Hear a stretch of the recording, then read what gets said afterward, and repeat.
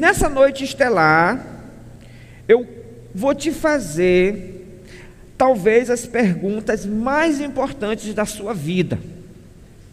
Se você me responder essas perguntas da forma correta, você será uma pessoa feliz, realizada em todas as áreas da sua vida. E, e as respostas destas perguntas, que são as perguntas mais importantes da sua vida, elas não são respondidas por mim, elas são respondidas pela palavra de Deus. Vamos abrir a Bíblia então. Salmos capítulo 8. Quando contemplo os teus céus, obra dos teus dedos, a lua e as estrelas que ali firmaste, pergunto. Olha só, antes, o salmista que está fazendo essa pergunta, ele diz: quando eu contemplo a beleza, né? E naquele tempo não tinha essa luz que nós temos na cidade. O céu, inclusive, não tinha poluição. Então eles conseguiam ver a olho nu os planetas, eles conseguiam ver a olho nu as galáxias, algumas das galáxias, algumas, né? E, e, todas as estrelas eles conseguiam ver a olho nu. Hoje é muito difícil, só em alguns lugares do globo é possível ver isso. E ele faz a pergunta: quando eu contemplo os céus, a obra dos teus dedos, a lua, as estrelas que ali firmaste, pergunto: que é o homem para que com ele te importes? E o filho do homem para que com ele te preocupes? Tu fizeste um pouco menor do que os seres celestiais, e o coroaste de dominar sobre as obras das tuas mãos, sobre os seus pés tudo puseste. Esse versículo já nos ajuda a responder essa pergunta: quem é você? Você é uma pessoa importante. Você é poderoso, poderosa. Você foi criado para dominar. Agora anote essas três coisas aí. Você é importante, você é poderoso, você foi criado para dominar. É tudo que a Bíblia diz. Deus te deu uma missão. Quando Ele criou o ser humano, Ele disse: ah, domine ele sobre os peixes do mar, sobre as aves do céu, sobre os animais grandes da terra, sobre todos os pequenos animais que se movem rente ao chão. Mesmo animais grandes não têm poder contra o ser humano, porque quando o ser humano se junta, eles pegam qualquer animal que eles quiserem, quando eles se juntam, eles derrubam gigantes, eles, eles foram criados com uma inteligência fantástica. Você é inteligente, talvez você tenha ouvido até agora que você é burro, talvez você tenha ouvido até agora que você ah, não é amado, mas isso é mentira do Satanás. Deus te fez inteligente, Deus te fez de uma forma especial, e Deus tem uma missão para você, e Deus te fez com um propósito. Nós somos criação de Deus realizada em Cristo Jesus para fazermos boas obras, as quais Deus preparou de antemão para que nós as praticássemos. Essa palavra criação, ela é, é a palavra no grego poema. É da onde vem a palavra poema. É, é como se fosse uma obra de arte. Deus é uma, é, está fazendo uma obra de arte em você. E deixa eu te falar, você ainda não está terminado. Olha só, você sem Deus, esse grande Deus maravilhoso, você não é nada. Você não serve para nada. Deus tem uma missão para você aqui na terra. Então, se você quiser responder da forma como Deus quer essa pergunta, quem sou eu? Você responde assim: Eu sou uma criação, uma obra de Deus. Eu tenho um propósito nesta terra e eu tenho uma missão e eu nasci para liderar. Eu nasci para cumprir essa missão. Se você tiver essa certeza na sua vida, já vai melhorar a sua vida cem vezes. A segunda maior pergunta que você pode fazer, a primeira é quem sou eu, a segunda anote aí. Quem é Deus? Quem é Deus? Quem é Deus? Você tem que entender, porque se, se você não entende o seu Criador, se você não conhece esse Criador, se você não entende quem é Ele ou o que é Ele, mas você tem que entender conforme a Bíblia fala quem é Deus. E sabia que a gente encontra exatamente quem é Deus aqui na palavra, porque ele nos revela, mas ele não se preocupa muito com isso de dar desculpas, não. Abra sua Bíblia no primeiro versículo da Bíblia. No princípio, Deus criou os céus e a terra. Ele não, ele não disse assim, antes de mais nada, quero dizer quem é Deus. Deus veio daí, veio dali, vai para ali e tal. Não, ele, no princípio, Deus, Deus já está ali. A Bíblia diz lá no Salmo 90, verso 2, que de eternidade em eternidade tu és Deus, ou seja, Deus é eterno e Deus é o Criador. Deus é o nosso Criador. Se você entender, responder essa pergunta da forma certa, isso vai mudar a sua vida. Deus é o Criador de todas as coisas. Deus é o Criador de todas as coisas. E, e tem mais, não é só o Criador, não. A Bíblia diz que ele criou e ele é o sustentador. Antes de tudo, ele já existia. E por estarem unidas com ele, todas as coisas são conservadas, conservadas em ordem e harmonia. Ou seja, Deus é o sustentador de todas as coisas. Deus também, além de ser o Criador, além de ser o sustentador, anote aí, Ele é grande. Quando você for responder quem é Deus, você diz assim: Ele é grande. Agora, quão grande é o nosso Deus? Tem, tem música que, que fala isso, né?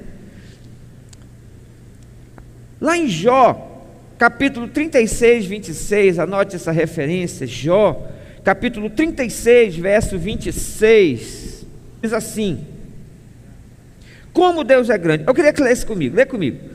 Como Deus é grande, ultrapassa o nosso entendimento, não há como calcular os anos da sua existência. Ou seja, não adianta você tentar entender o tamanho de Deus.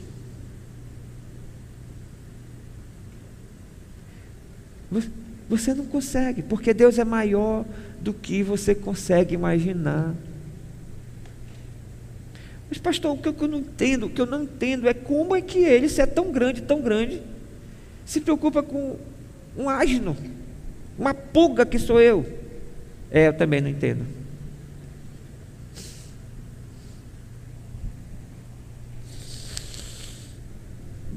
Mas graças a Deus, Graças a Deus, que Ele se preocupa, e que Ele ama, Ele cuida. E apesar de toda a sua glória, a Bíblia diz que Ele deixou a sua glória para vir nessa terra suja, imunda, passar pelo que Ele passou, só porque Ele queria ter um relacionamento comigo. E ainda tem gente que se acha o bambambam, bam, bam, você não é nada diante da grandeza de Deus e do que Ele fez por você. Nosso Deus é grande, e anote mais um negocinho depois, e tem todo o poder. E tem todo o poder. Salmo 48, verso 1 diz: Grande é o Senhor e digno de todo louvor na cidade do nosso Deus. Tem música também. Grande é o Senhor e muito digno de louvor.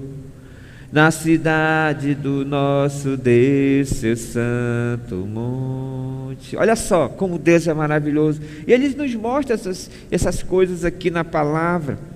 Eu te exaltarei, meu Deus e meu Rei. Bendirei o teu nome para todo sempre. Todos os dias te bendirei e louvarei o teu nome para todo sempre. Grande é o Senhor e digno de ser louvado. Sua grandeza não tem limites. Uma geração contará a outra a grandiosidade dos seus feitos. Eles anunciarão os teus atos poderosos, proclamarão o glorioso esplendor da tua majestade e meditarei nas maravilhas que fazes anunciarão o poder dos teus feitos temíveis, e eu falarei das tuas grandes obras. Comemorarão a tua imensa bondade e celebrarão a tua justiça. O Senhor é misericordioso e compassivo, paciente e transbordante de amor. O Senhor é bom para todos, a sua compaixão alcança todas as suas criaturas. Rendam-te graças todas as tuas criaturas, Senhor, e os teus feitos te bendigam. Eles anunciarão a glória do teu reino e falarão do teu poder, para que todos saibam dos teus feitos poderosos e do glorioso esplendor do teu reino. O teu reino é reino eterno e o teu domínio permanece de geração a geração. O Senhor é fiel em todas as suas promessas e é bondoso em tudo que faz. O Senhor ampara todos os que caem e levanta todos os que estão prostrados. Os olhos de todos estão voltados para ti, e tu lhes dás o alimento no devido tempo. Abres a tua mão e satisfazes os desejos de todos os seres vivos. O Senhor é justo em todos os seus caminhos e é bondoso em tudo o que faz. O Senhor está perto de todos os que o invocam, de todos que o invocam com sinceridade. Realiza os desejos daqueles que o temem, ouve-os gritar por socorro e os salva. O Senhor cuida de todos os que o amam, mas a todos os ímpios destruirá. Com meus lábios louvarei ao Senhor, que todo ser vivo bendiga o seu santo nome, para todos sempre. Amém, amém e amém. Deus seja louvado. Que lindo.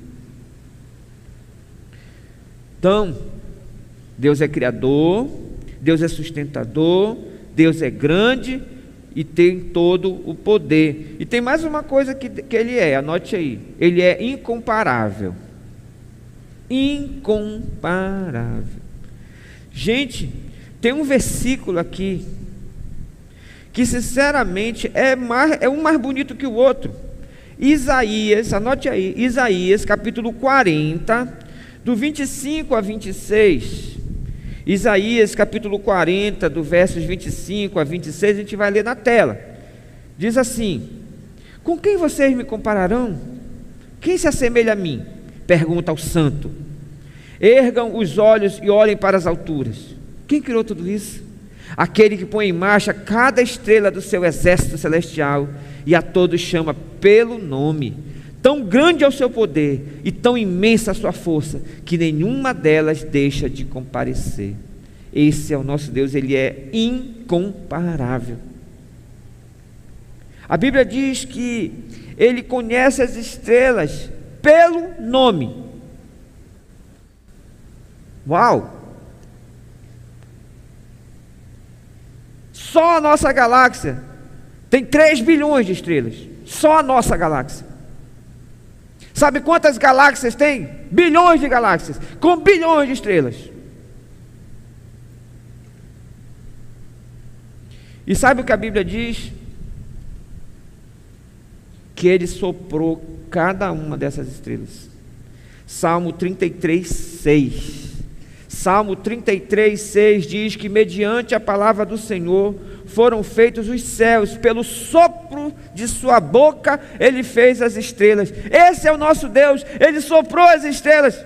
É importante você entender que a esse Deus a Bíblia diz: todo joelho se dobrará. Lá em Romanos, capítulo 14, verso 11. Não importa se for Hitler, vai se ajoelhar.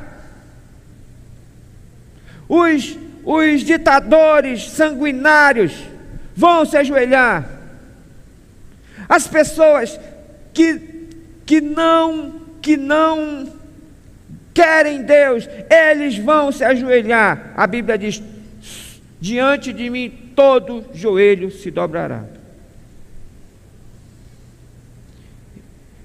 Não pense, nunca pense que Deus perdeu o controle. Nunca pense que as coisas que estão acontecendo é porque Deus foi dar uma soneca. Tudo está no controle das suas mãos. Terceira pergunta. Agora que a coisa vai, vai mais fundo. Como posso conhecer a Deus? Não pode ser superficial. É, responder essa pergunta. Não é conhecer a Deus, tipo assim, vou numa biblioteca, eu vou ler. Ah, tá. Tem gente que pega essa Bíblia e, e, e conhece a Bíblia. Mas a, Bíblia a própria Bíblia diz que isso não adianta. Você tem que comer a Bíblia. Pastor, mas como é que é? Comer não significa que você vai pegar isso aqui e botar na sua salada, não. Você vai comer espiritualmente, você vai aprender.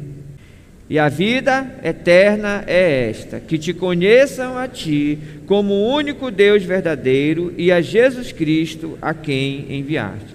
E você se lembra, talvez na aula, que esse conhecer não é superficial, tem que ser um conhecer de ser um com Ele, de se entranhar a Ele. E, e, e esse relacionamento espiritual é o verdadeiro conhecer. E, e, esse conhecer é importantíssimo.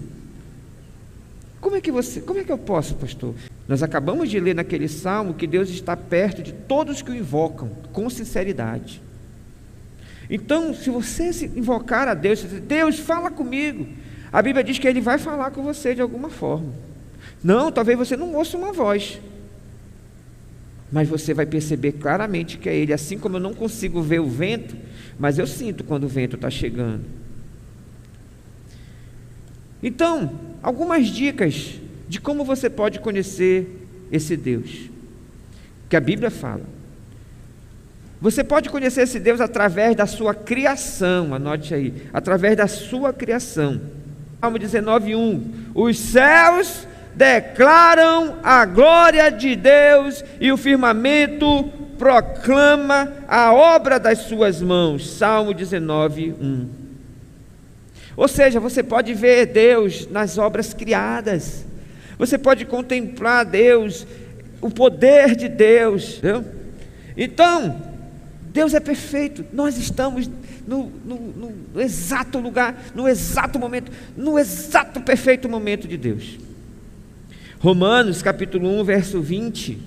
Romanos, anote essa referência, 1, verso 20, diz: Pois desde a criação do mundo, os atributos invisíveis de Deus, seu eterno poder e sua natureza divina têm sido vistos claramente, sendo compreendidos por meio das coisas criadas, de forma que tais homens são indesculpáveis.